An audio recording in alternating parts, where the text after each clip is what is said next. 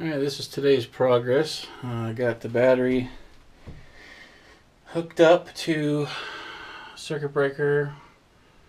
No, I guess back up. We have a 110 amp hour uh, uh, sealed battery.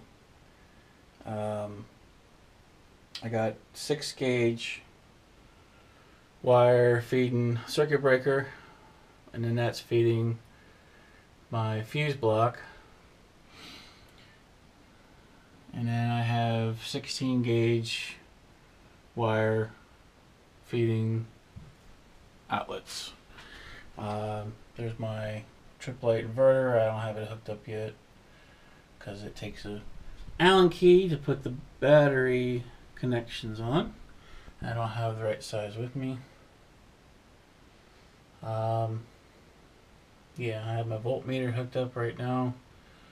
Just keeping track of the uh, the battery. I have a solar panel coming today. In fact, it was already delivered. And I have a uh, amp watt meter uh, coming as well. So that's that's the electrical system in a nutshell. We got deep cycle battery coming up into the circuit breaker, into the fuse box, out to the circuits. Got a bus bar for the ground, and again my inverter which isn't hooked up. Here's my new lights. Industrial looking, basically it's a heat lamp, a clamp light I painted and got it strung up to regular out or not outlet. Um, yeah, box, ceiling box. The LEDs in there. It's a five watt LED in each one.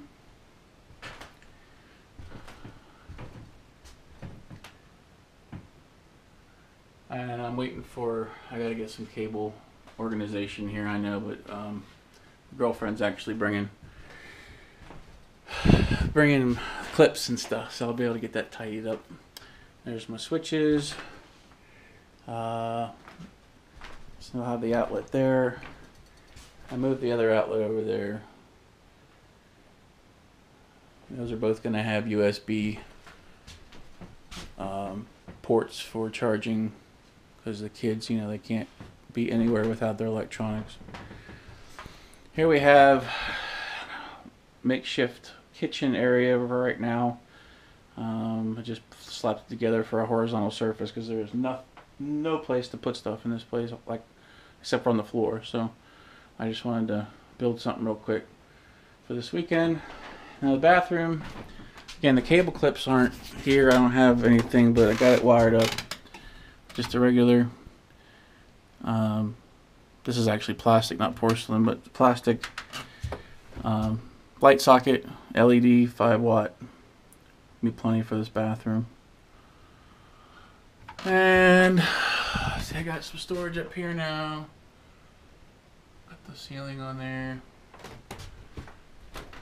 And we'll take you outside and check out the new outdoor light.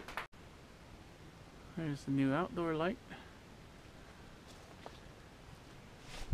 Again, 5 watt LED, 40 watt equivalent. It looks pretty good. looks high, but it, I'm to have pretty wide trim here, so it's actually to look in the center when it's all done.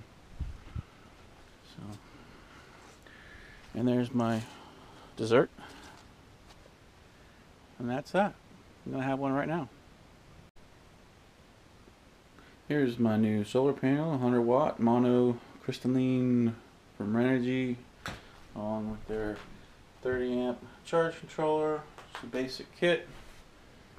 Uh, it also comes with the MC4 adapters so you don't have to cut the wires on the back.